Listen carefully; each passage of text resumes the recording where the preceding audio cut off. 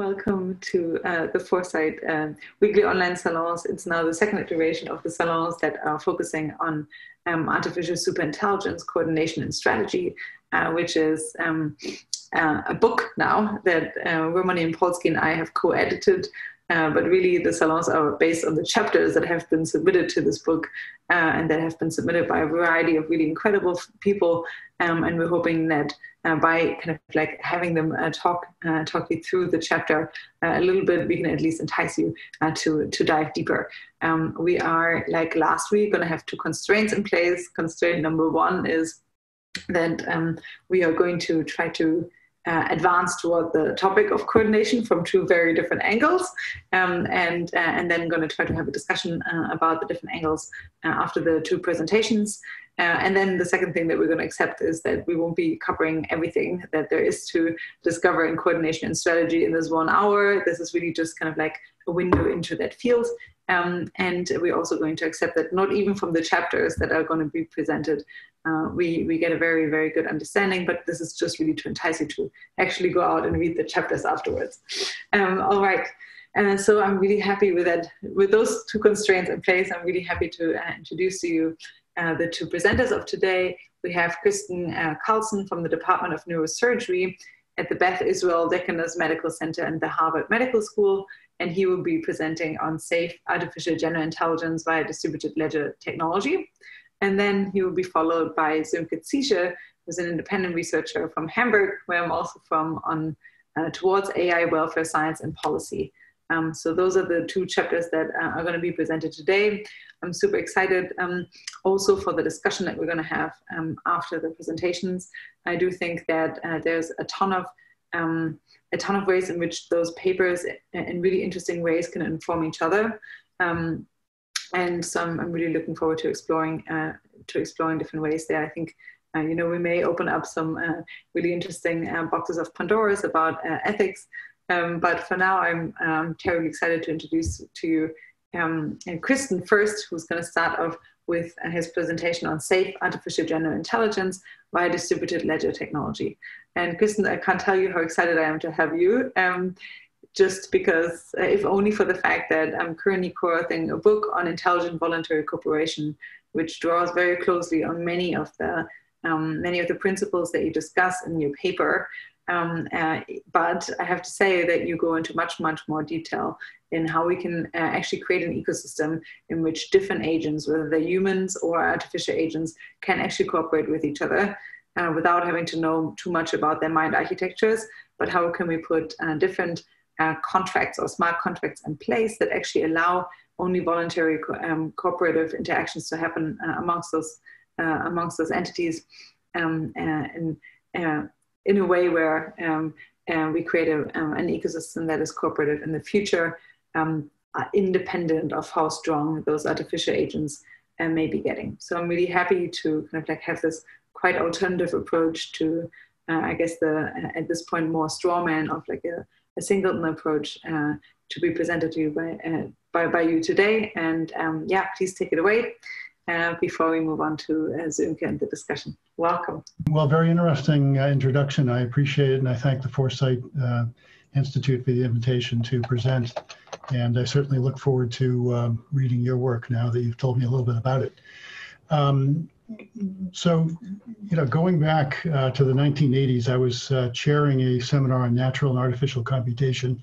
We read a whole ton of machine learning papers and AI papers, and I was not concerned at that time with um, uh, AI, uh, artificial general intelligence or superintelligence taking off in the near future.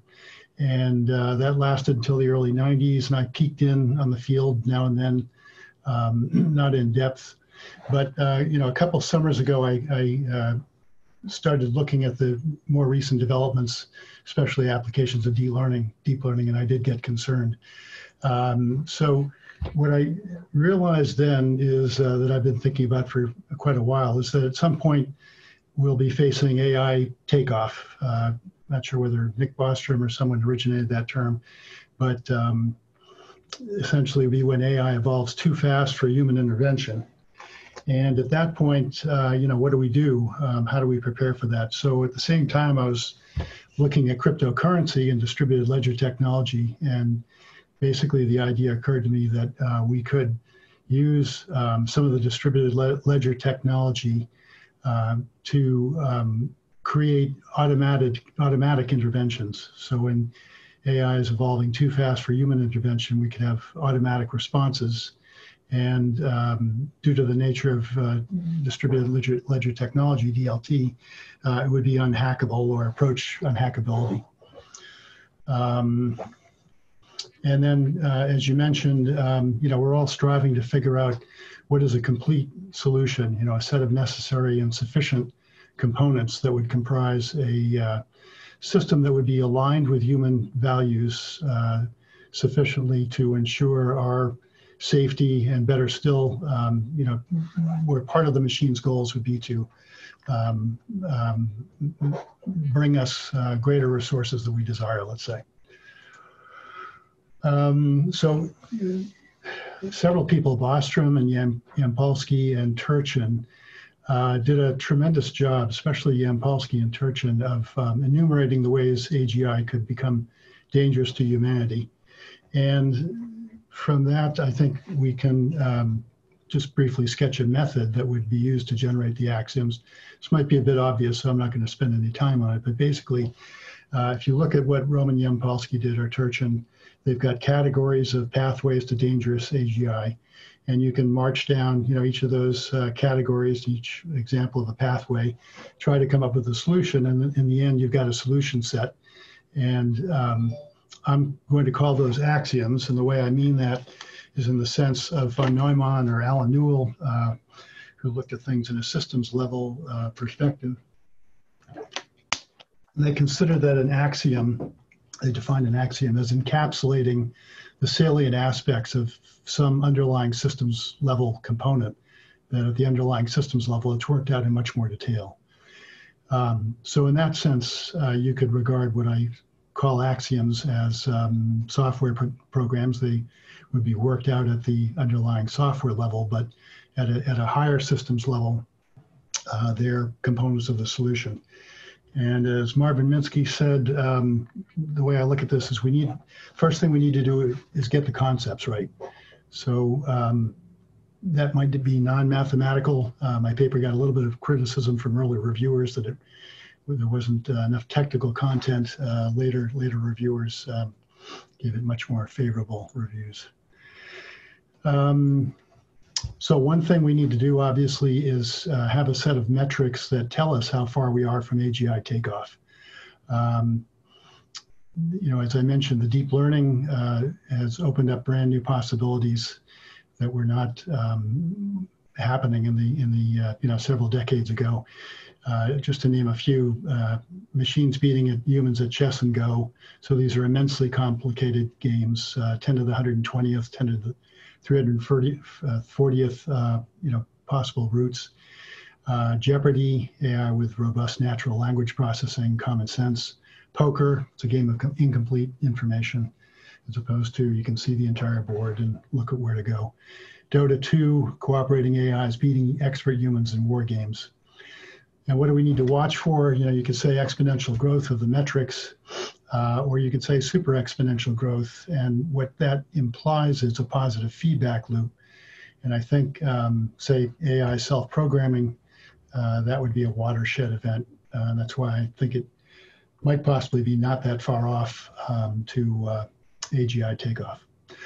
All right, we'll run through the axioms. Um, I'm going to assume basic familiarity with DLT, distributed ledger technology, the blockchain. Uh, you can store anything in a digital format. Um, the information is encrypted uh, with a very hard to hack coding of an audit chain. Multiple copies are stored in disparate locations uh, in a distributed ledger. And um, so there's no central point of failure. Consensus of stakeholders is required to approve and store any ledger entry. And there are a number of add-on technologies such as uh, so-called smart contracts, which was actually invented pre-blockchain, um, which means automated, automated uh, contract. Um, so the first axiom I would say is we need contractual distribution of intellectual property. Um, some information may be free. Um, most important information, I think, will have to be available under smart contracts. Uh, by way of a comparison, can anyone arm a nuclear bomb? Can anyone launch a nuclear tipped missile? Or, or are these available only via a very strict, carefully controlled, you know, prescribed, proscribed contract? And AGI is more powerful than nuclear bombs or missiles and have control over those and much more. So smart contracts um, are a necessity for accessing the critical components of AGI. As Allison mentioned, um, you know, the subject of ethics is uh, very critical. How do we align our ethics, or the best of human ethics, as Asilomar puts it, and uh, AI ethics? Um, the main idea here is uh, I regard ethics as the fundamental values from which autonomous agents uh, make their decisions. So they're not necessarily moral. Honor among thieves is an ethic, uh, but so are the Asilomar principles for AI development. And um, autonomous car, valuing the life of a pregnant woman over an older person, say, that's one choice that has to be programmed in. That's an ethic. More complicated examples, uh, if you go through the Department of Defense documents on use of coercion in warfare, uh, very extensively worked out um, as, as precisely as possible. Uh, so those are sets of ethics. The main thing here is a, a, set of transparent ethics would be embedded in a distributed ledger technology um, system so that they, they're transparent, they're available, and they're uh, not hackable. And changes in the ethics, like changing the US Constitution, say, would be only um, possible through a consensus of the uh, major stakeholders. Now, morality, um, it sounds like this would be interesting to Allison to discuss. Uh, I'm, I'm just going to put it very simply that in the long history of morality, you know, there's, there's just so many uh, takes on it. But in, for me, there's only two fundamental um, flavors a system that seeks only voluntary exchanges, and a system where one group's set of values is imposed over all the other groups. So I favor the voluntary system. I think it fosters uh, far more diversity and there's far more local computation that are done than in the coercive systems uh, where you have a set, you know, more centralized control. And the balance of power that I envision in a group of competing and cooperating AGIs would seem to be easier to preserve and evolve with a uh, voluntary system. Another axiom would be a behavior control system. Um, I'm not an expert in this area, um, but um, behavior obviously is the complete set of input output functions. Uh, a good example that is intelligible to me is a behavior tree. So the, in a behavior tree, uh, the fundamental values are at the roots. Those are what I would call the ethics, or the fundamental values from which the autonomous agent's decisions are derived. And um, an unhackable system would seem to me, an unhackable behavior control system would seem to me to be a necessary ingredient, ingredient of uh, safe AGI. Uh, the next group, I'll put, um, I'll, I'll talk about these all together. The Internet of Things and barcodes, configuration items, identity authentication, and the audit trail. Um, for a number of reasons, we have to have a means to uniquely identify a component of not only AGI, but you know what, what's going to become its extended peripheral system, uh, otherwise known as the rest of civilization, or as it's becoming uh, digitalized, the Internet of Things.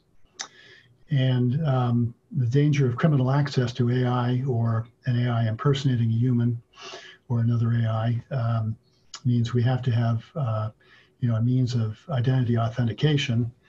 Um, I'll just say there are a number, I think we're up to about a dozen of competing cryptocurrency ID, ID uh, authentication schemes. So that technology is under development. Um, when there's an AGI failure, as uh, Roman and uh, Nick Bostrom and Alexei Turchin describe in detail, uh, we need to know which component failed. So it's got to be identified by some kind of a barcode. Um, we need to know uh, um, if it's hijacked, uh, which component is it, who checked it out of the secure inventory, um, what is the audit trail on it. A configuration item, in case you're not familiar with that, is essentially it arose in uh, information technology and the fields of business continuity, planning, and disaster recovery. it's a self-contained description of how a component should be properly configured within a system. So, you know, think back to the days when we had to, if you can remember, uh, flip dip switches or whatever to connect a hard drive or whatever, that all became automated and the configuration item is what automates that. So when a system goes down, a configuration item also helps diagnose the failure and restore functionality. That's more of a intelligent configuration item. Um, so the software components of an autonomous agent of AGI can themselves be uh, stored in, in a distributed ledger. Uh, so accessing the critical, compo critical components of AGI could be like checking weapons out of a vault or you know uh, some proprietary technology from a uh, from Microsoft or uh, Oracle or whatever. smart contracts and social ostracism. So smart contracts are um, uh, originally, for instance, the idea of simply a vending machine. So what is a vending machine? You don't have a uh, third-party intermediary between the, the two um, parties of the transaction. It's simply you and the vending machine, but there's a type of automated contract there, a smart contract uh, that, that lets you put in your money and get out your your uh, whatever you're buying. Other examples would be um, automated deposits in your bank account for work you've performed or payments of bills. Uh, these things um, are automated because they the conditions of the contract are fulfilled on both sides, and then the automatic uh, transaction takes place. So when smart contracts are used in AI ecosystems, they're obviously going to be far more complex. And uh, what I what I mean by social ostracism is you need a way to automatically deny resources to errant uh, human or autonomous agents. Um, so as opposed to simply uh, they're denied access by contract, even though they have um, numerous automated contracts with uh, numerous participants in the ecosystem, uh, you you would probably have automated ways of denying those resources once they violate their their contracts. And uh, let, so let's turn to a couple epistemological issues. I don't know, you know, how uh, you would um, prove a uh, set of axioms is necessary and sufficient uh, to ensure AGI safety, um, ensure AGI uh, ethical alignment with human ethics and morals. Um, I think several people have had a guess that uh, we need to have some kind of sandbox simulation and of course, the questions, uh, you know, a series of simulations, questions arise. Well, why can't the AGI hack the simulations, report misleading results, and escape the sandbox? Um, the idea of um, a group at IBM, was that simula simulation results can be stored in a distributed ledger. So, in other words, uh, you'd have an unhackable report that's um, accessible only to certain parties of the results of the simulations they were talking about in regard to um, important results such as from clinical trials that you don't want those to be hackable. But I think that can be applied as well to the simulations of uh, AGI. And uh, access to those uh, results, or maybe even the simulation technology, or, or looking at the simulations, would require presenting a certificate of good standing, which itself would be stored via distributed ledger technology. And um, maybe that would be uh, sent, uh, the certificate of good standing would be sent via cryptocurrency token. So that's an example of a uh, smart contract. It's a specialized type of smart contract. And another uh, IBM group calls these suppliers declarations of conformity. So you might have the Asilomar principles uh, perhaps more concisely uh, encoded in a declaration of conformity that last I looked I don't know, 13 or 1400 AI workers around the world had signed on to. And presumably, if you signed it, you'd have access to it. And again, your uh, proof that you have signed it would be encoded in DLT. And you could use that as a token to access uh, some AGI technology.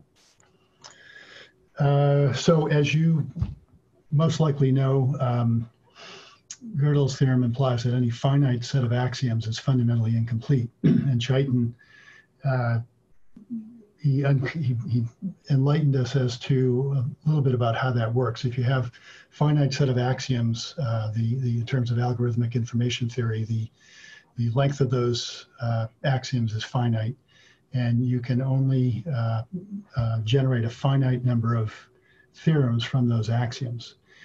So what that implies to me is that there's not going to be a complete set of axioms for AGI um, morality and uh, safety. It's going to be an ongoing process. At some point, we'll have to pass the baton to the machines to extend the axiom system. Um, excuse me, currently we've got a legal system that, in, in, in a sense, constitutes a huge number of uh, heuristics generated by common law and all. Uh, Steve Omohundro had the very insightful idea that smart contracts could be used to bridge the gap between um, current legal systems and those that AGI creates and administers, translate human law into machine law. And essentially, I think that's uh, going to result in a much more concise set of axioms, but there's no probably no limit to them. And the last thing I just want to say is that I think um, game theory and specifically mechanism design, uh, so the science and art of designing a communication system that incents the parties to cooperate uh, to generate certain categorical or qualitative goals uh, could replace several of the axioms and might be a more robust uh, starting point. And uh, maybe we have to give the machines at some point the, the, the task them with creating these uh, mechanisms or um, new types of games. So again, I thank you very much for the opportunity to present the work. I welcome any questions. Thank you very much. Thank you so much. Uh, I think you really, um, um, I guess, like gave a good overview of the different principles. I would love to, uh, in the discussion, maybe talk a little bit about um, towards the ending of your paper, you uh, kind of like make a few really interesting, I think, um, I guess, predictions or considerations that we have to take into account uh, in getting into into that world. Uh, but for now, I would uh, and, and I encourage people to read up on that if you want. It's the last part of the of the paper. Maybe we can get to that in a bit, uh, given that we also have David Manheim here. Um, and uh, for now, I would love to see if Sönke I would like to kick us off with his presentation before I, I unmute both Chris and Sönke, and you can ask your questions to both of them. Uh, so Sönke, I think uh, you should be able to speak now. Let's see what your Wi-Fi situation is like. Yes. Uh, can you hear me better now? Very well. Okay. And so now you, you want me to start with the, my presentation? That would be fantastic. Yes. Sure. Okay, so thank you so much, and sorry for the inconvenience earlier. Um, so this paper um, is related to the demand for AI policies, and we were inspired by paper from Bostrom et al. 2018, which is called Policy Desiderata for Super Intelligent AI. And um, in this paper, he also, or they also talk about interests of digital minds. And there's one desideratum, which I quote, mind crime prevention advanced AI is governed in such a way that maltreatment of sentient digital minds is avoided or minimized. So this is basically what our article is about to address this desideratum. Um, so the focus is not only on digital minds, but on sentient digital minds. And um, so the definition of sentient is that um, it's a mind which has the um, capacity to perceive qualia, including unpleasant qualia such as pain, and and so the, the mind is able to suffer. And suffering of any sentient being is a significant issue and may even increase in the future dramatically so um, that's why um, this is something important to look at um, in terms of sentient digital minds we focus mostly on ais but this could be also like subroutines even characters in video games simulations uploads of human minds so any sentient digital minds in the, as a as a subset of the vast um, vast set of overall space of minds.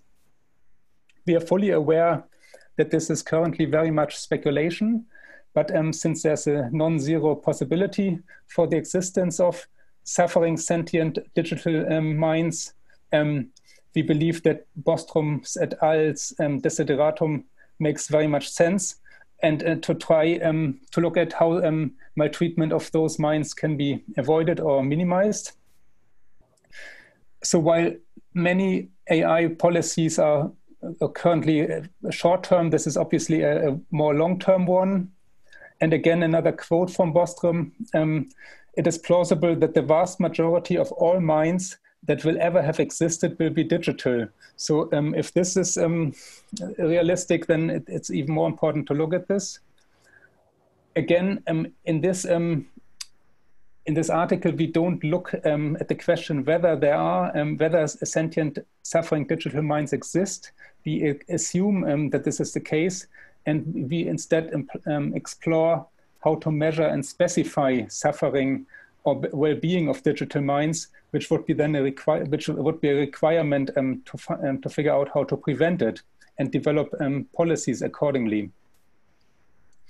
We um, also stress very much another motivation we have for this article, and this is that in the history of mankind, humans have caused already immense suffering by recognizing ethical issues only um, very late and delaying policies cruelty to animals and, and slavery are only a few examples. So um, we hope also um, uh, to, to, contribute um, to, to um, not to repeat previous mistakes. And that's why we, we thought it's important to address the topic of AI welfare um, timely and early. So in this article, we try to present the relevant groundwork for what we call AI welfare science, and this is actually derived from the, from the um, term animal welfare science. And then based on this, there could be AI welfare policies. Because I have not, um, I have only um, 15 minutes here, I, I focus on the um, welfare science part and not so much on the policies. And we um, have formulated two um, basic questions. The first would be, how can my treatment of sentient digital minds be specified and then how could the um, can the maltreatment of sentient digital minds be prevented or stopped? Um, this is obviously again all um, very challenging at this stage, but we, we look at um, um early steps. And um, for the AI welfare science, we um, look at two different components. The first would be the interest of digital minds to avoid suffering. And second, the interest of digital minds to have the freedom of choice about their deletion, to be deleted. So first, the, the first component, and later I talk about the second one. First about suffering of digital minds. So what can be done about this? Um, one approach could be um, similar to um, what is um, the, the, work of uh, David Pearce about um, abolitionism so he, he's um, looking into this, as, as, many of you may may know, for for um, humans and non-human animals. But this could be. We, we, were wondering if this could be extended to um, also to digital minds, and maybe this is even less challenging. It's it's anyway very challenging, but it could be less challenging for digital minds for two reasons, perhaps, because um, currently there may not be too many sentient digital minds uh, have um, have been created yet, if at all, unless we already live in a simulation. So therefore, the task may be mostly to prevent suffering um, when creating new um, sentient digital minds, and this may be easier than re-engineering them retroactively, as is would be the case for for um, suffering animals, for instance. And um, then, the, secondly, the genetic code which determines animal cruelty and suffering has evolved over a long period of time, and therefore interventions are more, uh, more complex than um, adjusting perhaps more transparent AI software code written by humans, at least in the initial stage. So this would be our, our first aspect. We consider um, if it is possible to abolish um, suffering at, um, completely. This would be obviously, um, if this was successful, this would be one way to, to avoid the suffering if this is not, um, if suffering of digital minds cannot be abolished easily, then the next um, challenge for us is how to measure it at all. And um, again, we compare with humans and, and animals. So uh, one important way to, to measure pain for humans in, in usually or also other beings is self-reporting. Because in order to handle pain, it must be detected, located, and quantified. And um, for humans, um, self-reporting is an important method, at least for the detection and location, quantification to some extent. Um, so um, so what about um, self-reporting um, as, as a method to measure um, suffering? Um, there are two challenges at least. Um, the first one is also, so the first challenge would be that there are patients who are unable to um, self-report at least at least accurately the, the, the pain. Um, this would also apply to animals, but also certain humans, like uh, humans with dementia or um, infants and babies. Um, they cannot precisely self-report their pain. And secondly, there could be biases. Um, plenty of biases um, when it comes to self-reporting, like response bias or social desirability bias. And this the second point may be also quite relevant for AI um, self-reporting of pain because they, they obviously could um, um, fake um, fake um, suffering and um, if they deem this beneficial for pursuing their priorities. So this may be not reliable self-reporting. Instead, we believe that a better method would be, like in general in science, um, to do do it through observation, to observational pain assessment. And um, and here again, um, we look at the we look um, at animal um, welfare science because animal welfare science it, this is also um, an important method that they um, uh, that they look at observational indicators for to measure pain of animals, and there are basically two parameters: functional and behavioral parameters in, in animal welfare science. And we believe that this may be a useful approach. And um, this may be even more um, effective for, for um, digital beings than for animals because um, of the um, digital nature of, of these, um, these beings to look at, at certain parameters. So when it, when it comes to so I looked at the, the two types of parameters now. The first one, the functional parameters, um, already now AI algorithms have a number of functional parameters like um, regarding the, the resources or the time or storage efficiency. So um, maybe it is possible to also identify um, parameters to in, that indicate a suffering or at least at this stage um, through a collection of, of data, there can be um, the data could be collected and retroactively um, it may be possible to identify indicators for suffering of, of those beings. When it comes to behavioral um, parameters, suffering can be caused either by, uh, um, pre, uh, by presence of negative um, reinforcers or absence of positive reinforcers. And these would be also certain, certain behaviors we could look at and even could, uh, come up, could come up with a preference tests for AI algorithms um, to, to see um, if there are, to identify positive or negative reinforcers. So based on these considerations, we came up um, with five recommendations, um, very um, early basic recommendations we, um, which could be useful for AI welfare science and, and, to look further into. The first recommendation, I'm quoting them all now, um, maybe Allison, if you don't mind, maybe you can even um, copy them into the chat. But so I'll quote them now. Recommendation one: um, initiate research on AI welfare science to develop methods to create only non-suffering sentient digital beings and um, digital minds which cause no suffering.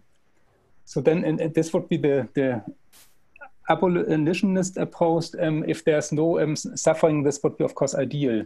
Um, Second recommendation would be initiate research on AI welfare science to develop methods to re-engineer existing suffering sentient digital beings to become permanently non-suffering or um, existing digital um, minds not to cause any suffering anymore.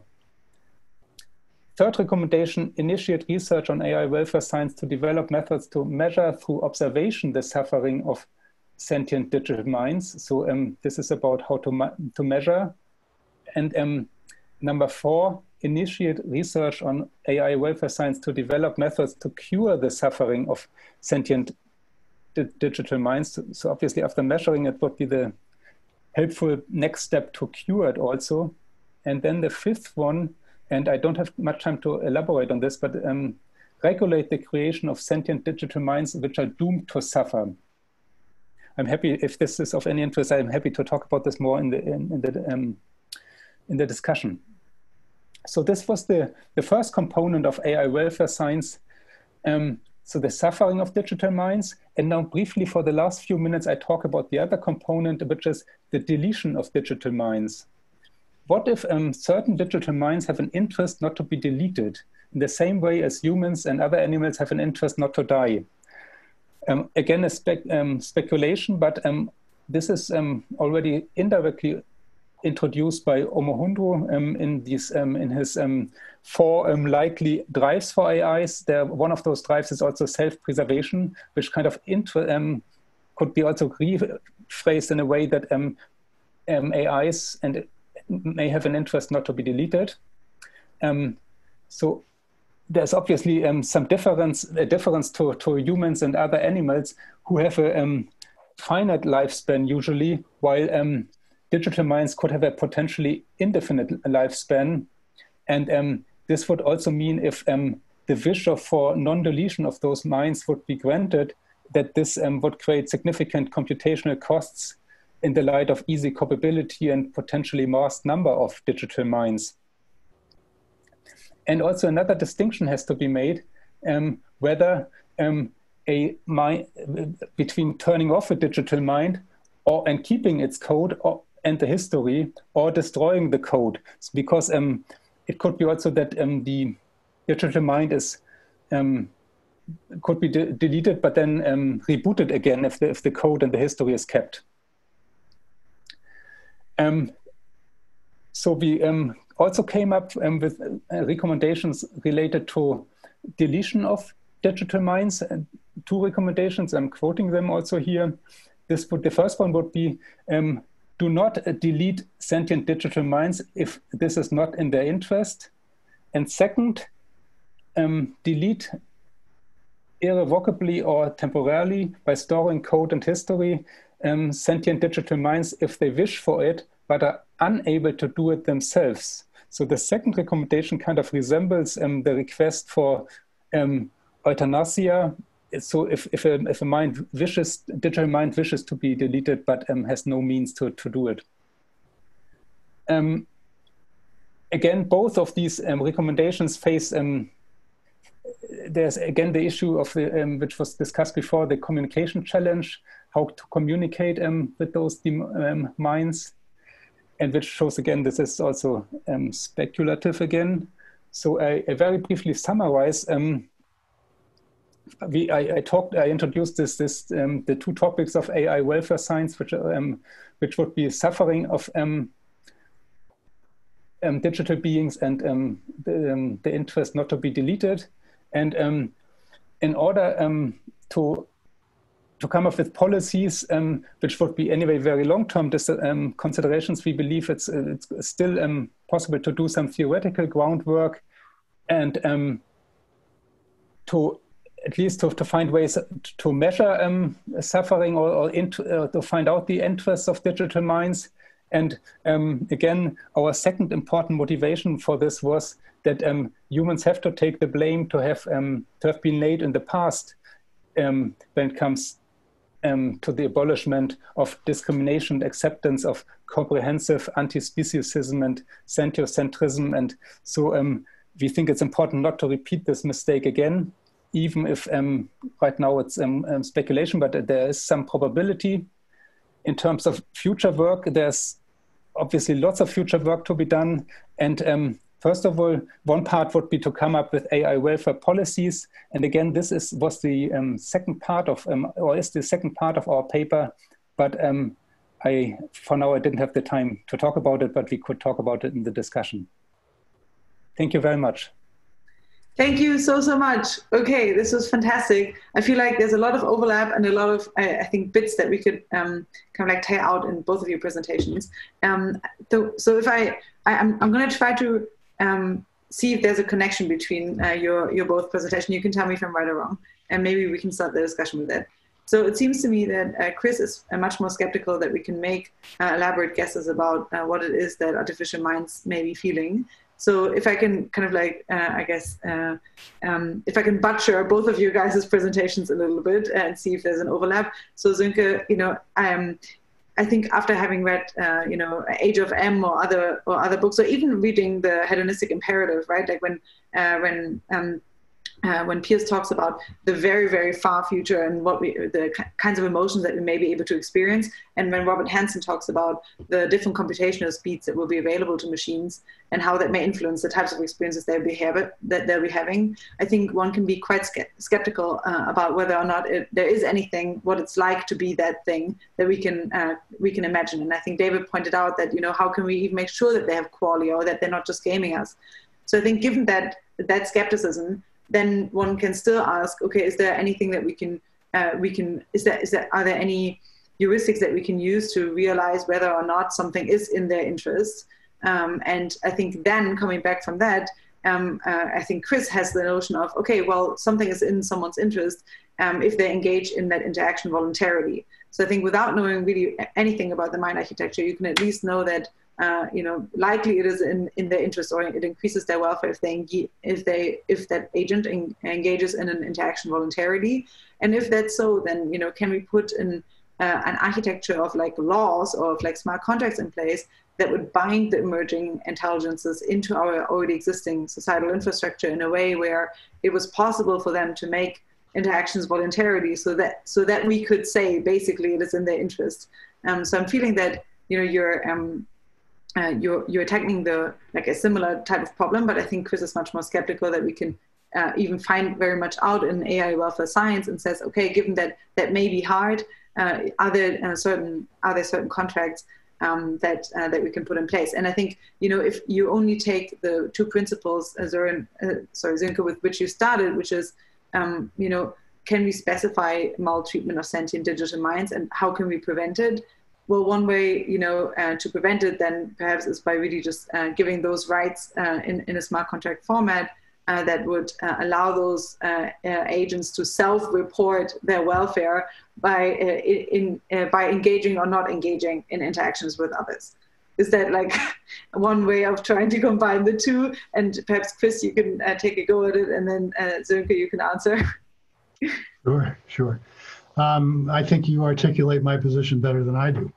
But, uh, you know, I, I, think we start with where we are now. So uh, in, in neuroscience, there are two different types of pain signaling pathways. There's a uh, lateral discriminatory signaling pathway, uh, and, and, there's, and that is simply, you might say, the unemotional uh, objective signal of, uh, oh, my hand is near the stove and it's hot, but you don't feel badly or, or good about it there's the medial affective pathway, and that's where the amygdala, amygdala gets involved. And that uh, is the judgment call, and that's where I, I think this uh, theory that Sönke is developing would apply, that you could have a machine which uh, replicates that pathway, might have far more complex uh, feelings than we do, um, or not. You might design a machine that does not have that pathway. Uh, there are some people who love lobster and say, well, the lobsters don't have the uh, pathway, only the discriminatory, so it's okay to cook them.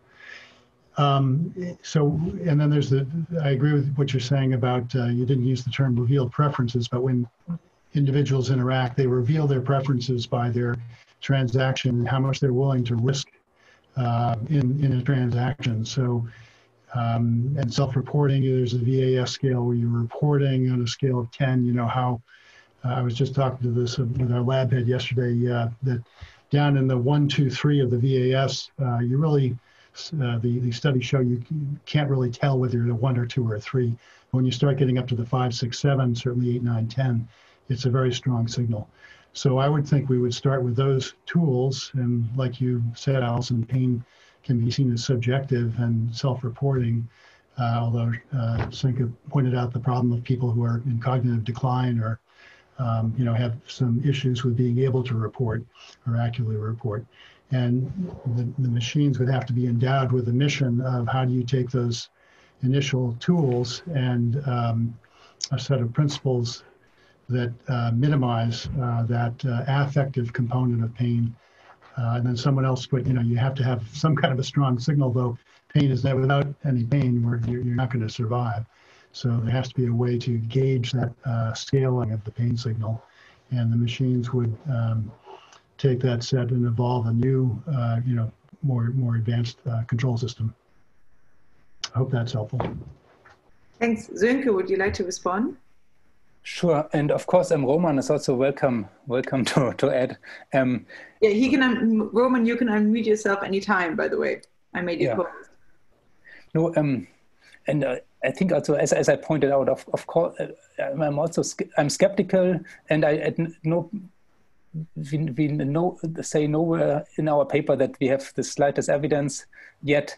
Um, it is very much, I guess, this imperative um, to reduce suffering and even if there are only small probabilities, um, that's why I try to emphasize also this this um, um, angle um, to avoid suffering. I mean, that there are some um, approaches or theories that in the, the suffering in, in the future will be will be much much there will be much more um, suffering in the in the future and there there there's risks of astronomical suffering. So um, we we look at this from this um, even if there's a low probability um, and, and, and, not much evidence yet, but from this angle to, re to reduce suffering and um, to, to take preliminary steps um, at an early stage, and, and again, based on the, the history that humans were often very late and um, when it came on and, and only realized it after they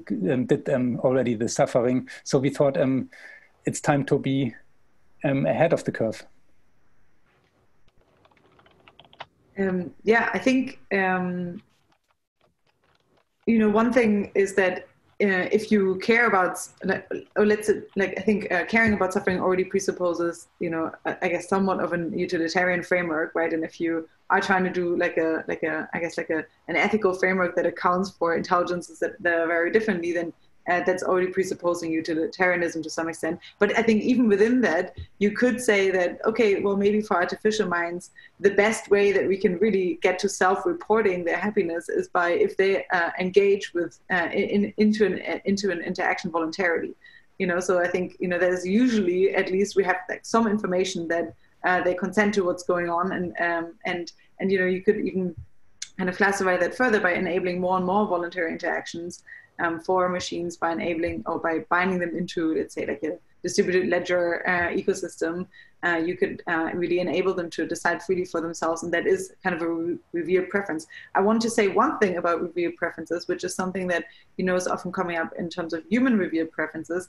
You know, I think, um, oh, the name for this, but uh, it's basically uh, where you have like hidden preferences. So basically, sometimes it, it, it is the case that we have social dynamics in which uh, you know we, you may have a preference, but you don't really feel like you can reveal them in the given context. And then the moment that uh, the social setting changes in a way where suddenly you are able to reveal them, you actually reveal it, and that sometimes switches and whole societies kind of like switch from one bucket into the next one. So I think even uh, if you just take revealed preferences in, in economics, you know, there's a ton of problems with that. But um, if you only take revealed preferences, let's say as a, you know, as an example here, then um, how can you, I guess, be sure that uh, revealed preferences aren't being gamed uh, and that they, or that they don't lead kind of like, you know, long term into, I don't know, like races to the bottom or, you know, multipolar traps and uh, in the way that there is something that we would all enlighten, or that all agents, artificial and human, would all enlightenedly prefer uh, if they could, but they are locked into you know an inadequate equilibrium of some sorts, and they just can't get themselves to coordinate in that direction. That's I think usually one thing that you like one objection that you get to that approach, Chris. Can I respond briefly? Uh, so the point of mechanism design, the reason I focused it on uh, mechanism design is the part of um, game theory where you're designing a communication system. So you um, either reveal those preferences or uh, you, ins- you incent the players to act in concert even though they don't reveal their preferences. But your, your point your point is very well taken. It's a profound point. It is like like I was immediately thinking when reading that. Okay, what do I usually get in terms of objections when I speak about like a you know related theory? And I think one thing that you get is definitely races to the bottom of like you know multi-agent dynamics and how they how they uh, play out. Um, then another thing uh, is you know I guess one of the main problems for your approach would be also something like a Sybil attack, right? So how can you actually make sure that those agents, uh, you know, aren't colluding in ways that you can't tell, uh, creating something like a singleton on the long run, right? So I think that's like in, you know in, in the crypto ecosystem the Sybil attack is basically like the singleton danger in ai so is there any way you can avoid that I, you know, as I mentioned, I think simulations are going to be key. Uh, maybe I'm prejudiced because that's what I pretty much do for my day job, but I think um, that's uh, you know has to be an essential component, and you're, you're, essentially going to try to think of as many use cases as you can to run through the simulation. And uh, the AI, you know, again, I think that it's a passing of a baton. It's hoisting uh, ourselves by our bootstraps by turning some of the problems over to AI. And uh, okay. uh, Ted Howard, Ted, yeah, we should read Ted Howard uh, had a comment here. Well, how, why do you why do you think you'd be able to dictate anything to the machines? Yes, exactly. I mean, at some point, uh, that's that's the huge problem. So we have to put the pieces in place before that happens. All right. Thank you so much. Okay, we have uh, two previous questions. Uh, I, am uh, asking you, please, if you have a question for the speakers, please uh, preface them with a Q so I can direct them and find them easy in the chat. Um, Sönke, would you like to respond? No, for, for uh, to what question? No. I just wanted to give you a chance because I was ranting like a little earlier, right? and then we switched to Chris. So if you had no, any, no, no, no, for, for, no, no, I'm fine. Thanks. okay. I have to make sure that uh, I'm not ranting too much. Yeah. Well, um, okay, so I, I did want to, I guess, okay, so there is, I guess, um, a way in which, um, in which, uh, and uh, I'm coming back to Chris in this regard, something like an automated um, distributed ledger ecosystem is in itself something like a singleton right? So it is in itself by specify by specifying any set of laws into this uh, distributed ledger singleton.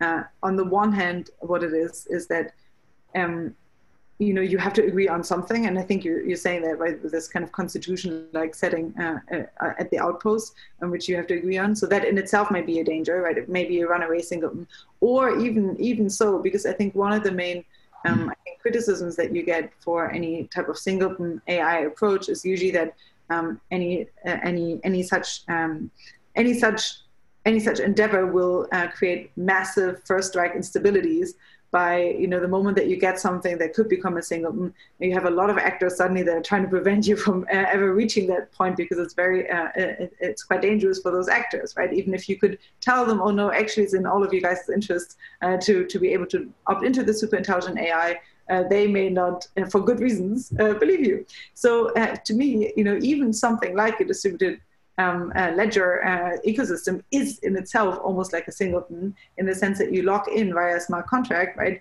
Um, spe- specific types of value. So, given the fact that we currently are in an ecosystem where we're not in a totally, uh, where we're not there yet, you are already creating um, something like a transition risk into that state. Is there anything uh, you want to say to that? Yes, I mean, I agree with you that a single distributed ledger technology system like Bitcoin, say, uh, if, if, no other distributed ledger could be created, that's a huge problem. But in fact, you've got a myriad of distributed ledger technologies and um, a myriad, uh, I mean, literally, uh, I don't know, um, maybe 10,000 that are competing and a whole bunch that are competing in a given, given area. So um, I don't have a, I cannot think of a solution to the singleton problem. I agree with you completely. But what I envision, I don't, and another uh, very interesting question would be, you know, how many, how much of a balance of power, how much of a distribution of resources uh, among a uh, group of AIs, uh, AGIs, do you need to uh, ensure that their their competition and their cooperation will be robust? You know, like the uh, statistic that you need, whatever it is, 63% of nodes in an internet, sufficiently broad internet, in order for the message to be able to get from one point to the other reliably and below 63% or whatever the connectivity value is, that system will fail. So it's another question, not all an answer, but it's an interesting question. What you know level of distribution of resources among competing, cooperating uh, autonomous agents is necessary for robust solution?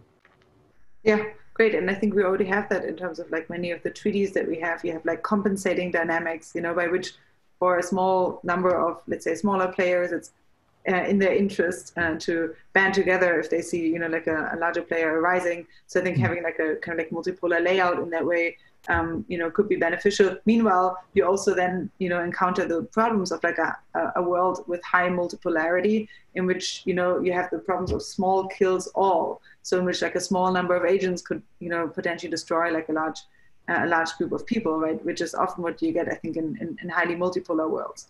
Um, do you have anything to say to that? Uh, no, I don't. I think you're right, and I don't don't know enough to uh, offer a, uh, a solution or a critique. Okay, well, I'm going to post like a, an article about that here, um, where Bostrom is Great. basically saying that we're going to enter semi-anarchic default conditions um, in, in which you know potentially smaller actors have the number of causing greater harm, which I think you currently see really well, right, with the coronavirus uh, crisis in the way that like you know you have cascading effects to even like the actions of a small number of folks. Um, and uh, then I think we did a salon in which I basically um, proposed like a more decentralized solution for tackling um, small kills all scenarios, uh, which don't rely on like single singletons in terms of uh, either governance systems or in terms of uh, artificial agents. But I'll post it. In, I'll post it here in the chat, um, the link to the talk as well. And uh, Sönke, did you did you want to? Did you have a, an immediate co- uh, comeback to this? Otherwise, I would get uh, get to a question by Forrest Landry. No, please go ahead. Okay, great, awesome. So Forrest, I'm going to try to find and unmute you.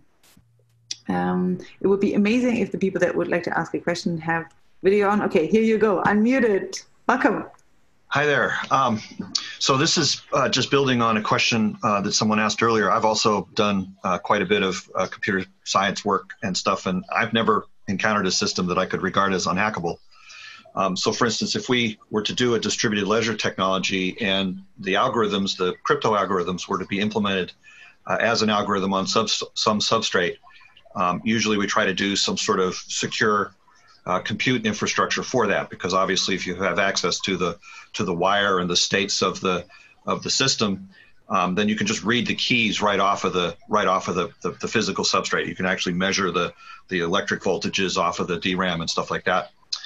Um, so you know given that um, AI doesn't potentially just doesn't occur by itself that it may have access to uh, all sorts of tools to basically uh, just invade the classical compute infrastructure, it's it's hard for me to see how uh, a notion such as unhackable could be supported. Um, so, given that there's a criticality of dependency upon uh, crypto infrastructures, uh, I guess what I'm wondering is, is is is are we presuming something that, that that we don't really have a concept of how to substantiate? Uh, you want me to answer, Allison? Okay. Uh, well, I mean, you raise uh, an absolutely valid point. Um, I mean, the, the I think the, the comeback is that there is a huge and growing uh, cryptocurrency, um, crypto token community, and there's a um, coevolution going on between the hackers and the security experts. Uh, I think you know much more about this than I do, um, but uh, you know what I observe is that there has been some uh, successful hacking and uh, the the then the uh, security experts um, on the uh, cryptocurrency side come up with a solution um, that extends the basic idea that if you're going to have you know a set of nodes that as opposed to one sing- single point of failure, if you're going to have a distributed set of nodes, so some robustness where even if you know a bunch of nodes can go down, but the rest of them can, out of their own self-interest, uh, say, well, we're, we're not I mean, in, in, some cases, they can just roll back the ledger to the point of the hack, and they've done this and uh, restore the ledger from that point going forward. Um, so I think there are solutions being developed for, um, you know, the, the, the problem of uh, hacking. Sönke, do you have a reply to that? No, thank you. I guess, you know, all that I would say to that is like, that's a problem that you encounter building any type of AI that is not a specific problem that is uh, that is not a problem that is subject to one uh, one approach versus another approach. It is just I think a problem that we have to get around to. And you know, you don't like we always say in, in the paper that we wrote on this. Um, we basically say the level of intelligence that's required to destroy the world is already behind us. Because given the fact that you know we have such insecurable computer security foundations already it doesn't require very advanced intelligences of the future or using nanotechnology or anything like that. Um, anyone i mean uh, like almost anyone uh, would be able to cause already massive damages to a computer security infrastructure. So the problem's even even worse i think than you point out for us, and it's definitely a point well taken and we have to get around to um, to producing securable computer security infrastructures. That said, I also think that crypto commerce or the crypto ecosystem is a valuable approach to that, just because of the fact that insecurable crap dies early, right? Because uh, you know, if you uh, come up with a proposal or if, if you come up with any project uh, and it's easily hackable, then there's like a million dollar crypto bug bounty already attached to it, which makes people in the ecosystem go out and try to hack your system. So the fact that you know systems that are more secure survive longer in the cryptocurrency ecosystem is maybe uh, all we can do. It's play tested or red team by other approaches. And yeah, anyway, this is just my my sense on it. But uh, we had another question by uh, David Manheim. Uh, David, I'm going to unmute you, and then Joscha, I saw your hand as well. David, you are unmuted. Um, okay, so uh, I'm wondering about kind of two related things. The first one is um, I guess the the more important one. Um, if you have a blockchain securing your um, you know the the kind of crown jewels for the AGI, whatever it is that we don't want it to be able to change, don't you have to worry about the AGI um, fundamentally breaking the crypto system that um, is being used to secure the blockchain? Um, and even if not, it seems like the way that proof of stake works makes it arbitrarily expensive to keep the system secure if the AI system itself can um, create or get access to compute power to compete for dominance of the system. I think that's uh, those are both valid points. Um, I think the, the latter one uh, again argues against a, a, singleton or something that moves toward uh, you know uh, too much resources being concentrated in um, you know one or a small group's hands. Um, I mean that's I think that's uh, all I can say. Okay, thank you. Yeah, I'm guessing it rests on the assumption that there is no one such AGI that, uh, you know, that, that could look at the code, because then the civil problem supposedly would have would have been broken. Ever. I mean, we can use AI itself. You know, AI could replace the current hackers to try to hack the uh, the crypto system. Um, uh, you know, David, go for it. You wanted to you wanted to say more. I think I'm going to unmute you just in case. No, I, I I think that that was that was it. Okay. But thank you. Sorry. no, it's fine. I was thinking about saying something, but I'm good. I, I, can I make one more point? Uh, okay you know, to, relative to both your and, and Forrest's, uh, you know, very valid criticisms, um, you could say, uh, well, what happens when we have quantum computing if they can make that practicable? It's headed in that direction, but it looks like it's a ways off.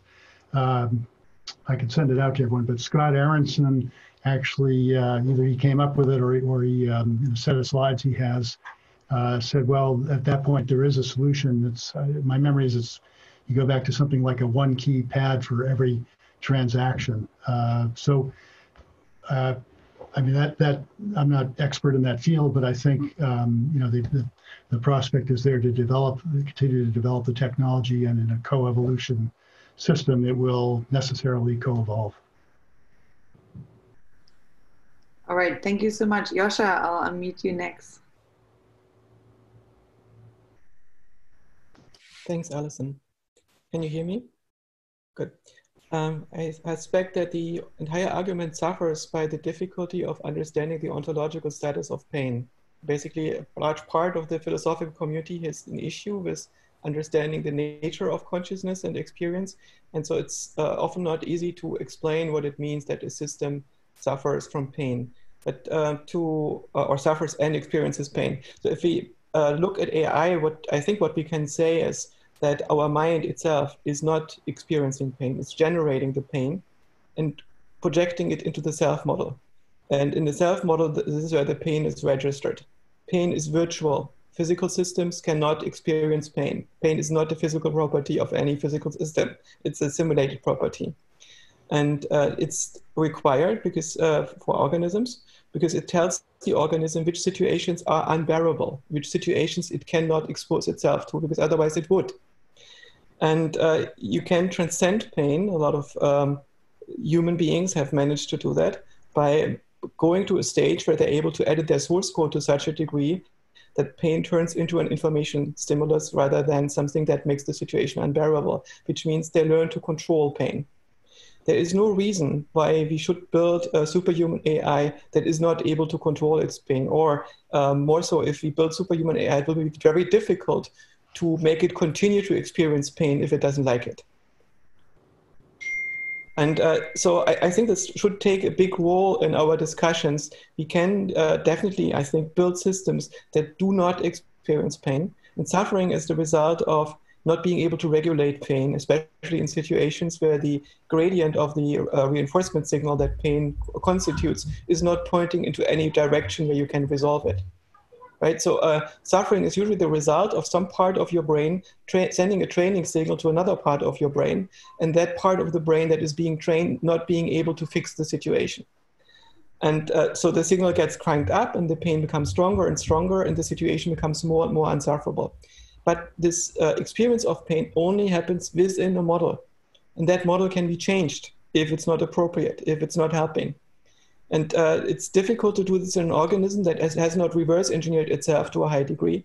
But this is not true for a technical system that we have designed in the first place or for a system that's able to reverse engineer itself. Uh, so uh, if, if you consider this, maybe you have a counter argument to this perspective and you think uh, I completely misunderstand the nature of pain here, or how would it change your argument? Yes, uh, thank you very much uh, for this point, and Joshua.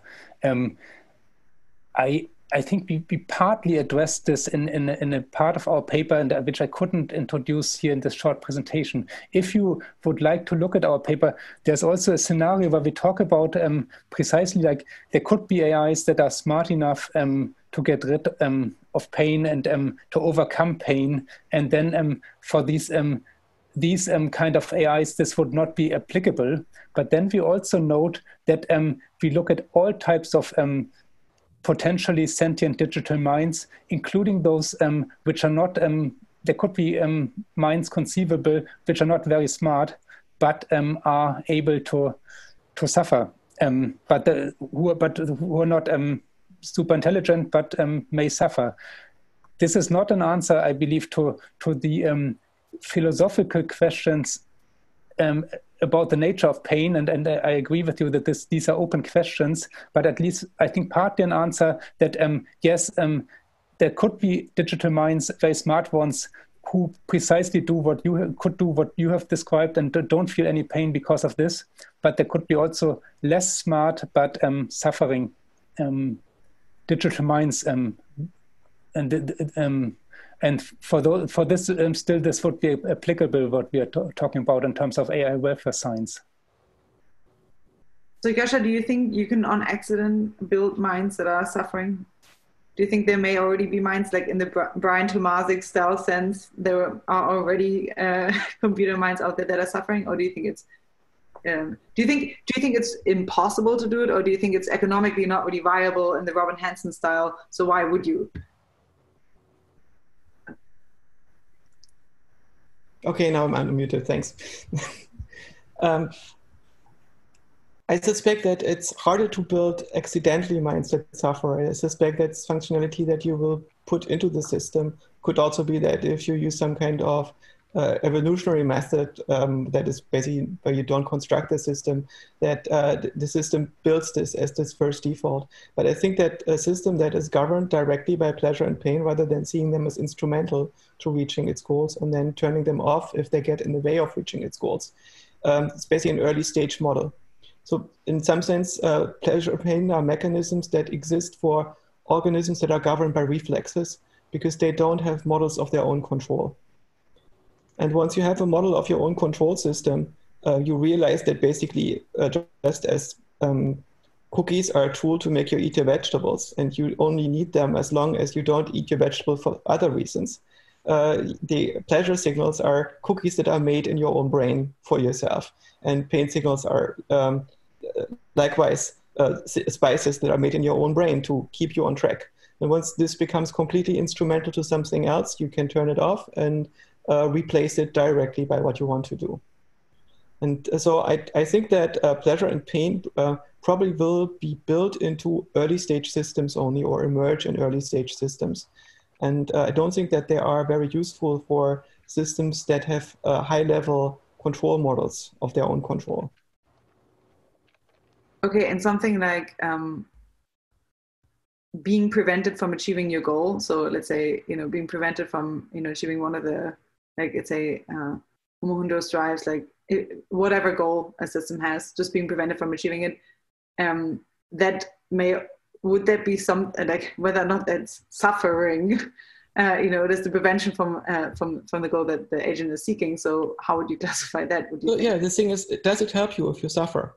If it doesn't help you that you suffer and you are suffering then you have a problem with self-regulation right and obviously uh, humans and other organisms do have these problems with self-regulation because typically we don't get easily to the point where we're able to regulate our own pain generation but uh, we notice this in early stages when you are uh, a two-year-old uh, human and you are unable to reach your goal, you will intensely suffer and you will throw tantrums, even if the goal is physically impossible in this universe.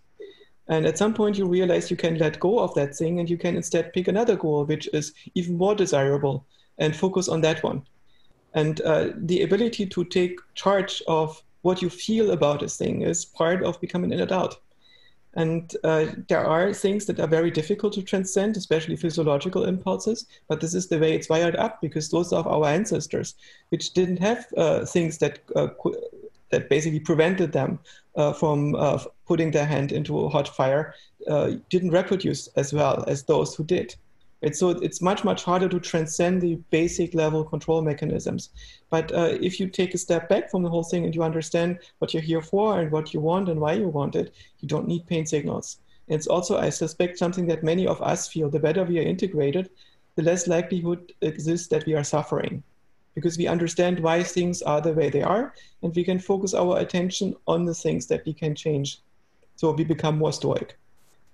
More stoic. Okay. I yeah. just posted an article on 31 laws of fun for utopias and why utopias doesn't have to be boring, which reminded me very much of what you said. Um, uh, okay, great. We have De Kai uh, next. I'll unmute you.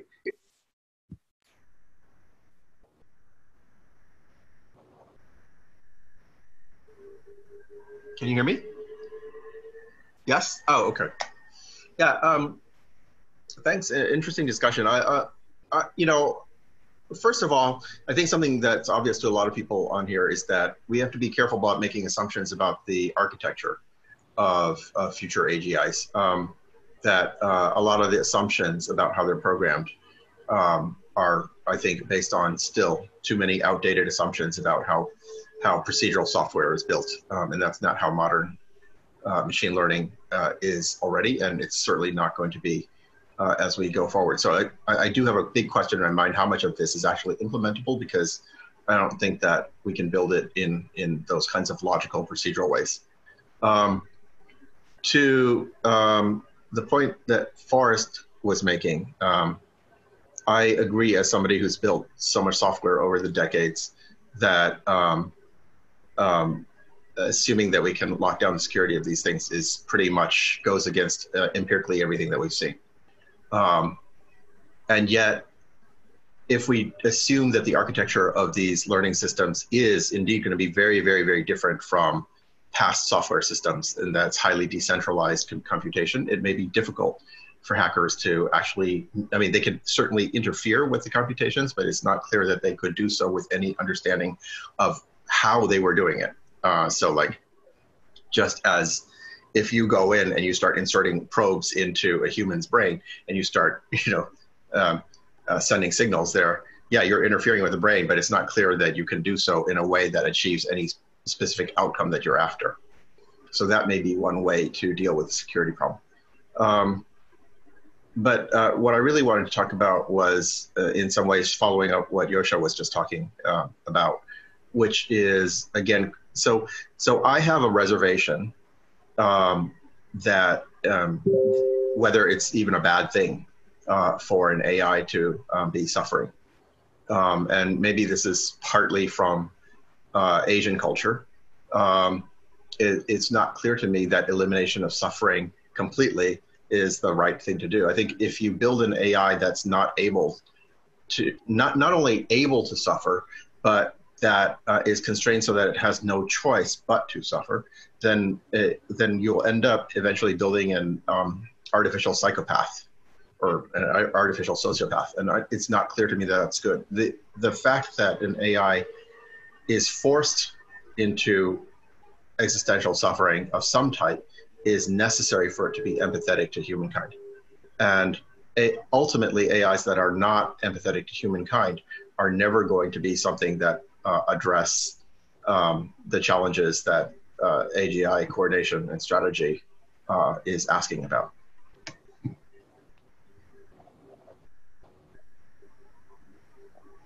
Sönke or Chris, do you want to answer? Um, very, uh, very briefly about the, the, the, last point about the, um, yes, thank you very much. Um, I have to think more about it. We briefly touch on this in, in our paper, and I hadn't talked about it. Yes, um, because also we are um, there, there are humans also um, who are ready to suffer for certain goals. There's this, this theme, um, no pain, no gain. Um, like even for like sport activities, religious um, or spiritual achievements. So there's there's certain suffering which is could be considered helpful or useful to achieve goals. And um, we we um, we we mention it, but um, I, I, have to think um, think more about it. This is certainly an important point, um, but perhaps to some extent exceptional. Just want to say that what I'm talking about is not even really about achieving goals. I mean, I think this discussion has has been framed in a way that's very much about um, goal uh, goal oriented behavior and of course, you know, we, we know how to program uh, those kinds of systems. Uh, but again, uh, it's not entirely clear to me that that is the way to align AGIs uh, if they're not um, uh, sufficiently um, empathetic to the plight of humans uh, from direct experience. I mean, we, we don't really have any empirical examples of um, creatures that are empathetic to each other without have themselves going through the same personal um, experiences, the same personal sufferings. This is why, for example, the Black Lives Matter movement is having so much trouble connecting to uh, subpopulations that have never had to experience what they go through. Yeah, I think, um, Chris. Uh, go ahead, and then I'll hop in. No, you go first. I just want to fill in. All right, thank you. Well, I mean, to, to Kai's second point, so you use the term, you know, em- empathetic or empathy several times. So I, yeah, I mean, and you, and you said, uh, you know, the machines won't be empathetic unless they feel the same way. Yes, I mean, I think that's tautological in a sense, but I don't agree that that's the only way that machines could um, um, address human suffering. They just need a metric. Uh, again, I'd come back to revealed preferences in terms of a very sophisticated, scaled metric that is applied in a different way in you know innumerable um, contexts as as a way to uh, address that. Um, I had a point about your first response to your first point, but I don't remember it. So go ahead. I mean, I, yes, Chris, thanks. Um, I mean, I, I know what you mean, and and that's the AI, you know, uh, approach that I was raised in, quote, raised in decades ago um, as a PhD student in, in Berkeley. And I have to say that I don't have uh, faith that that approach is really going to answer the questions that are posed by this track in AI, AGI um, strategy. Uh, there are too many ways that the goal, if you have built purely a goal-oriented system uh, that has no personal experience uh, that provides the uh, analogy uh, for the AGI to the human experience, there are too many ways the goals can go in the wrong directions in unintended ways. because the complexity of these uh, very logic, you know, goal-oriented uh, um, systems uh, is such that the, the way the, the combinatorial complexity of the rules explodes, um, there's always tons of unintended consequences that we cannot think through ahead of time. Um, and so it is really important that an AGI system have a way to self-define their objective function in terms of an experience which is very close to that of human experience. And yes, you could say, well, if we if the AGI could build a simulator of human experience that is so incredibly accurate that it can actually um, plan out how to make humans as happy as possible um, without actually experiencing it by itself, then I think we start getting into um, slightly meaningless debates about the difference between simulating something and actually experiencing it. Um, I mean, in a way, all AIs are simulating, um, but also one could turn around and argue that all humans are also just simulating. So, so that becomes, to me, kind of a pointless debate. Well, I think you're raising very good points, and and uh, you know, it, and as the machines evolve in very complex ways, uh, we're not going to be able to understand what they're doing. It's going to be beyond our ability. Um, also, just to add to your, your points, the uh, some of the ones that Bostrom and others raise about uh, if the if the machines are given the mission of uh, make us as happy as possible, maybe they'll just create a drug that makes us as happy as possible, or you know, a transcranial electrical stimulation that make you know just turns us into fools uh, who are happy all the time. Yeah, exactly, exactly. And I mean, that's the the simplest way to have an unintended consequence of any rules that we try to uh, build goal-oriented uh, uh, rule-based systems that we try to build. So th- this is exactly my concern about not having a close enough uh, experience of the AI uh, to the human experience. But so you know, on the other hand, Sönke could come in and say, "Well, are you now proposing to create suffering agents? You know, purposefully suffering agents to some extent, right? And like, where's the ethics and like for like if you if you're purposefully going out and trying to create to create such a thing, right? Then um, uh, so that we can get our needs met, I think Sönke would have one or two things uh, to say about that, right? I mean, I could throw Buddhist philosophy back at this. okay. Well, I think like, like uh, one way I think in which in which Chris could come back to that is just saying, hey, like I'm going to be agnostic toward the types of experiences you know that are uh, that are being created, but I'm just trying to put an architecture in place for an ecosystem in which we can engage with a variety of different agents, whether or not uh, you know they're suffering or whether or not whatever their mind makeup is. We don't even have to get into those problems and answer them. We just need to make sure that the architecture through which we're interacting with them only allows for voluntary uh, interactions because uh, those are revealed preference style, uh, at least some way in which humans and artificial agents can self-report uh, whether or not an interaction is in their interest or not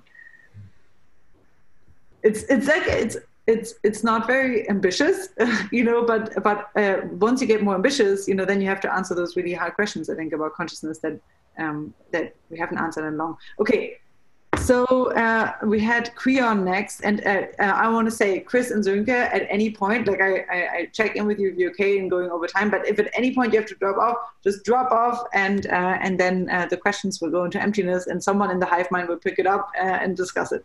So, so Creon, I'm going to going to meet you. Um, let's see. Thanks, Allison.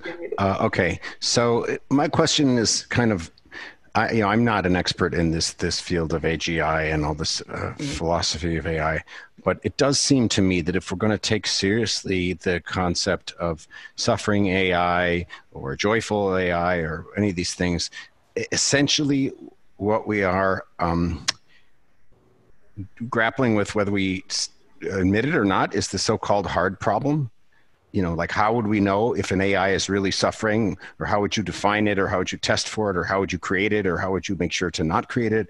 Um, so i'm wondering like can someone who knows more than i do talk about how these two questions relate? And for instance does the do we have to solve the hard problem before we can make progress about arguing other than in any more than a flippant way about AI suffering, or is somehow studying the question of AI suffering going to help us make progress in this hard problem of conscious experience and qualia? And so I'm just curious about that because they seem related, but we don't seem to be mentioning it so far.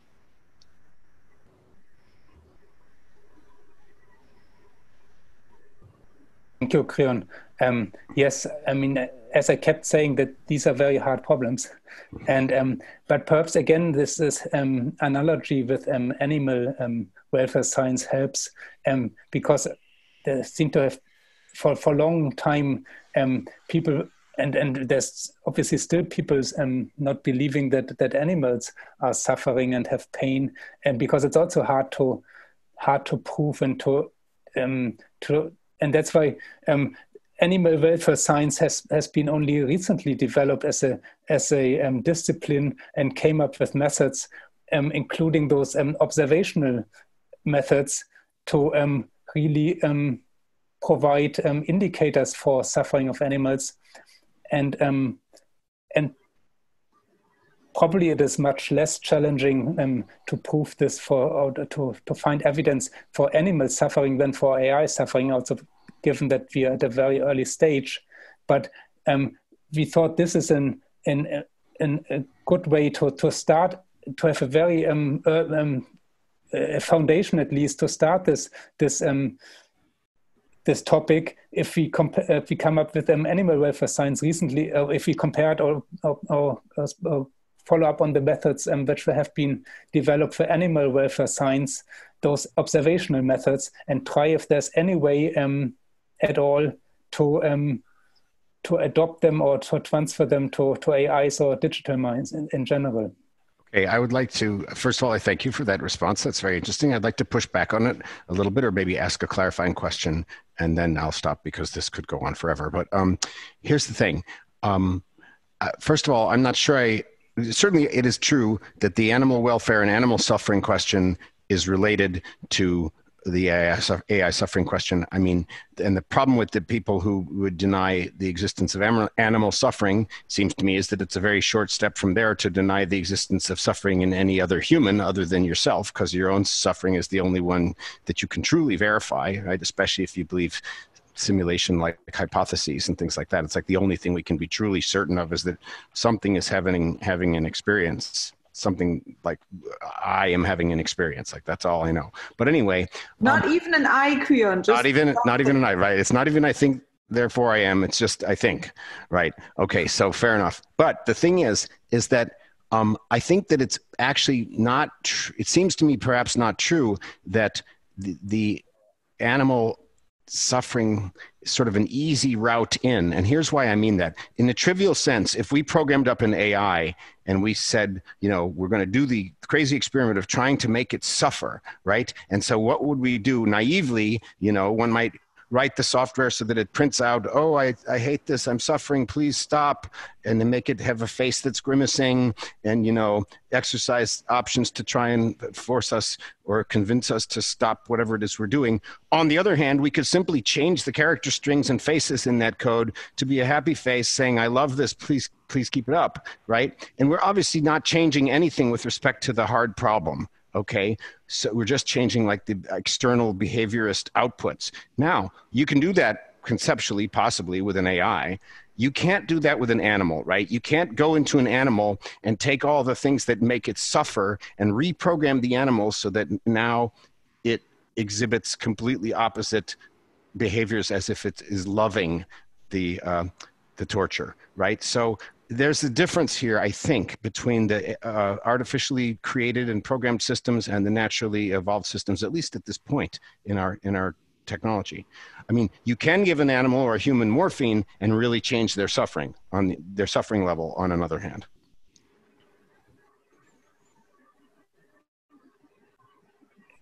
Yes, a very brief answer only because I have to also further think this too. But um, but you're talking about a small subset of those potentially digital sentient minds, which are those um, and like simple simple AIs, which we still have the power to, to program like this, as you described. But um, so, but we are looking at this very vast um, potential um, space of potentially sentient minds, which um, which maybe very yeah, complex and, and sure. different.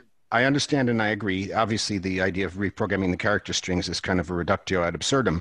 But I do want to mention that it does seem to me, as an outsider, that this question of what is suffering and in terms of like the hard problem of consciousness what is it that that is a profound question that relates to this issue of ai suffering and um and uh this idea that i'm not sure if it was you or someone else who proposed that the suffering is just a sort of a tool that the organism uses to try and alter behaviors or alter situations that are that are not good for it. Um, I think that that that is also kind of blown apart, perhaps by um, by certain hard problem subjective issues like self-suffering and like the fact that morphine can totally change the experience of pain. Um, it, it seems to me that just calling it all a simulation and suffering is just another signal in the simulation that's trying to alter uh, behavior or change the external world misses a good part of suffering because uh, you can certainly have signals that alter your behavior that don't make you miserable. Yeah. That's all. I'll, okay, thanks. I'll mute. Um, you know, I, I was like when uh, when you were mentioning, um, you know, uh, the I guess the the relationship between animal suffering and uh, and AI suffering, and that um, potentially AI suffering may be something that we can wrap our hand, head around earlier or or, or, or easier.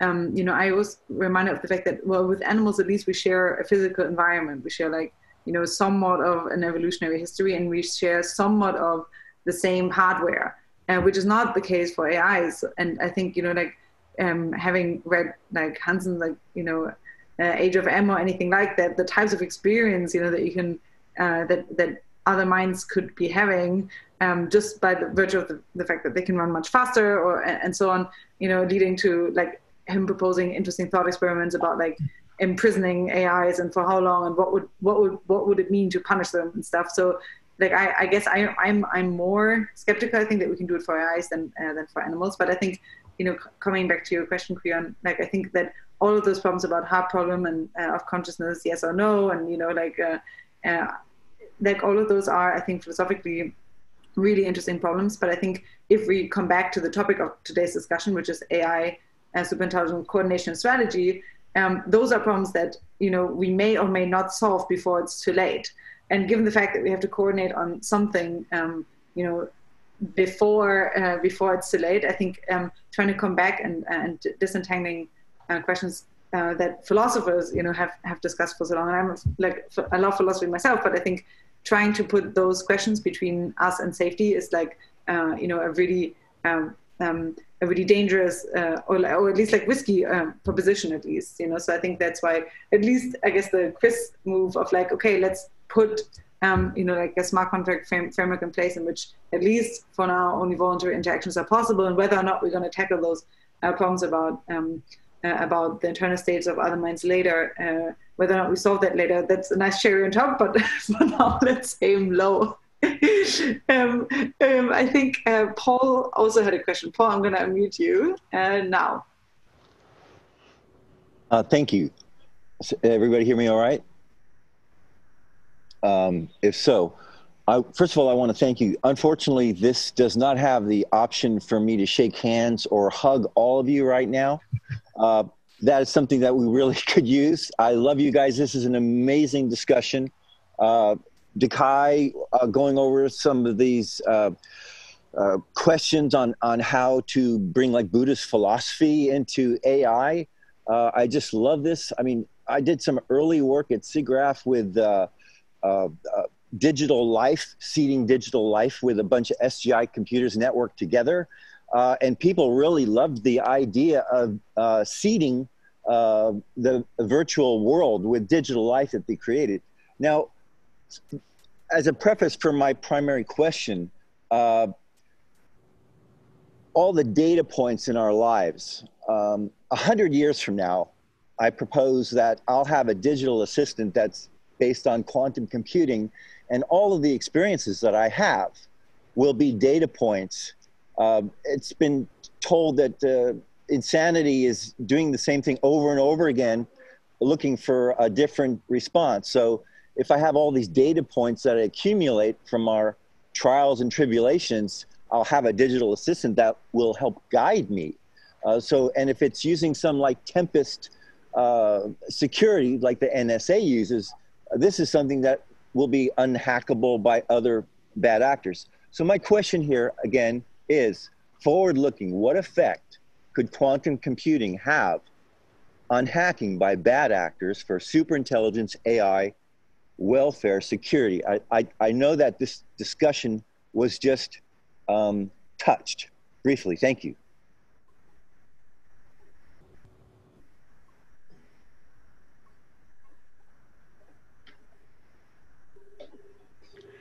I mean, I'll give a, just a quick answer. Um, by way of example, so I had to review a paper, uh, and uh, you know, they, I can't remember what the animal animal uh, welfare convention was. Maybe Sönke knows, but you know, they, the authors had to attest that they abided by that convention for the welfare of the their laboratory rats that they experimented on.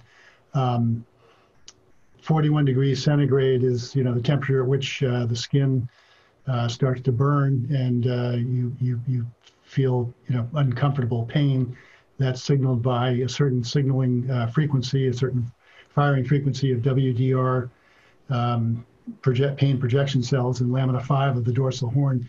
So I don't know, in some ways like that, I think the machines can, uh, you know, AI can uh, compile a set of uh, heuristical, if need be, where they don't need to know the inner workings. They just know they, you know, hey, we're not allowed to exceed 41 degrees centigrade when we experiment on these humans. And those would be encoded, in my view, in a distributed ledger uh, so that it would be minimally hack hackable. Dinka? Okay, well, um, you know, I think without having an answer to this, obviously, but you know, like I think building smart like building smarter intelligences may be our best bet at solving those problems. Um, you know that those uh, much smarter intelligences will encounter on the way. So you know it, it, in some sense it's kind of like an offense defense game uh, you know even even with those technologies. But like by by at least coming up with a framework in which we can um, kind of like cooperate with artificial minds to be able to tackling those problems better um, i think is the first step at least Um, okay, great. We have the last question here uh, from James, and then we are going to close it out, and you can uh, move into a breakout room afterwards if you want to. James, I'll unmute you. Thank you. So I wanted to ask if anyone else feels as though we might all benefit from disaggregating some of the terminologies that we're using. For instance, when we talk about pain, yes, there are certain kinds where it's physical pain that is a kind of a, a virtual uh, interface that we use in order to avoid some sort of physiological or anatomical damage. That's a certain kind of pain, and we've talked about that kind of pain. We've also mentioned other kinds of pain, such as you know frustration.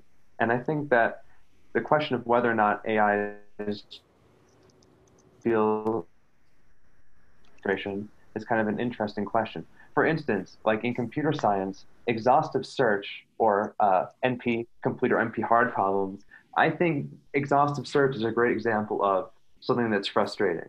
If you're searching and coming to terms with the complexity of a given system, it's not necessarily immediately in the short term goal oriented. You don't necessarily know what you're doing, and you're playing around in you, the, um, the the computational complexity that is uh, available, or that the complexity demands that are uh, forced upon you, and necessarily um, fun. So you know, from the like what De Kai was saying from the Buddhist tradition, and even what what uh, what what Joscha was saying about the uh, the potential to view pain as something else. That's one approach. People have also spent their entire lives mulling over uh, their suffering and their complexity, and people have produced very interesting writings, and a lot of what some people define as the human condition has kind of emerged from the ability of humankind to realize just how complex it is in a way that's not uh, necessarily goal oriented, in a way that doesn't necessarily even have kind of clear preferences. And I imagine that if uh, superintelligence is even more complex, then unless we're supposing that P equals NP and that it doesn't have to ask questions, doesn't have to search, that it can generate the answers immediately, then I think that a superintelligence, especially if it's trying to grapple with very, very difficult questions, that it will suffer. And I think that that's kind of the whole point. That uh, that that's something that we should kind of prepare for. Prepare for, and I I don't see why uh, we would want a super intelligent organism not to to suffer in that kind of way. What do you guys think? Yes, um, thank you very much. Um, again, um, I, I, didn't have that much time um, to that. Um, in in our paper, we we highlighted various um, places that indeed um, there are different types of suffering not only like physical pain there's as you say frustration disappointment things that don't happen. So um, this is more complex. We we agree and um, and, and I, I, agree with you, and we kind of mentioned it in, in, the paper that this is complex, and also the other point that um, um, that other other digital minds, other minds may have um, qualia we cannot even think of. We have no imagination of the unknown unknowns. Um, we try at, at several um, places in our paper to to um, highlight that there are so many unknown unknowns, and um, including um, qualia obviously not imaginable for us that other beings could have, um, and that this obviously cannot be addressed um, and could not be addressed in, in this paper.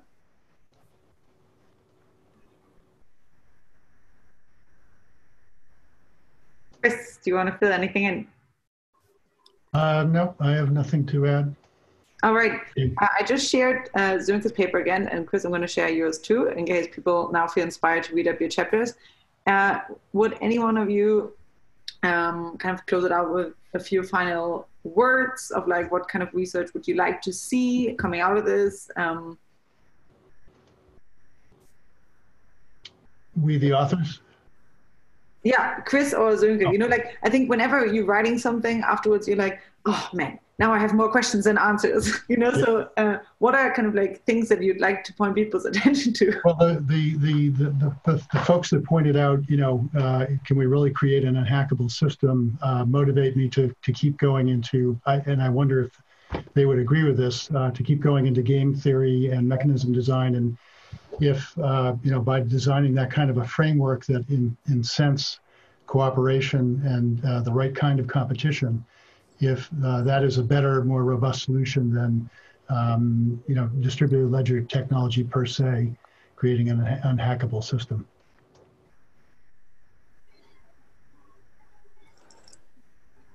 Yes, um, no, thank you very much. I think all these, um, all the comments were really inspiring and, and, and useful, and I took lots of notes, and I'm, I'm, I will, happy, I will I'm definitely save the chat for later. Um, but particularly actually the last point we were looking at it um, already before um, because we we heard this um, comments before that um, the, um, um, suffering and pain itself is, is or suffering is, is can be very complex and it it's it's definitely helpful at least to come up with um with the uh, to look at taxonomies of, of at least human suffering and to specify types of suffering. And and then again we have no guarantee that it could not be completely different for other other minds. But um, so the, this um, looking into different types of suffering this would be certainly a a, um, a logical next step um, um, we would like to do and um, take it from there. Fantastic. Thank you so much like I had immediately like a thought to what you said, Chris, about you know whether competition uh, is perhaps better than a, a distributed ledger technology uh, for kind of guarding against future risks. Um, like those are not mutually exclusive, right? You can have like an ecosystem in which the the types of distributed ledger technologies that bring about safer systems are the ones that ultimately rise to the top or something. You know, so I think there's like a larger ecosystem in which those games could be playing out. But yeah, okay, thank you. Yeah, okay. Thank you so so much for joining. I had such a blast. Oh my god, and I think people really really loved the discussion. I'm like we had yeah, it was it was really really good. Uh, I really um I'm very grateful that you stayed on for so long. I hope it was worth worthwhile for you, for all of you. Um, and yeah, there's a, a, lot of different threads that uh, that one could uh, uh, that one could or could probably not, even with more hours, disentangle right now. So thank you so so much. I really appreciate it. Um, next week we're also very likely going to meet again on Thursday um, and um, I'll post a little bit more information on this uh, soon. But for now, um, you know, I think last time um, after we closed out the final session, people stayed on for almost two more hours uh, in a breakout room. So there's no need to do that now. Uh, but we will open up a breakout room with a few prompts in case you want to meet and continue the discussion and meet other participants here. Um, and for that, I would love to give it over to the amazing Lou, um, who I think is over here can unmute herself. So goodbye from me, everyone. I hope to see you next Thank, week. Thank you, Allison.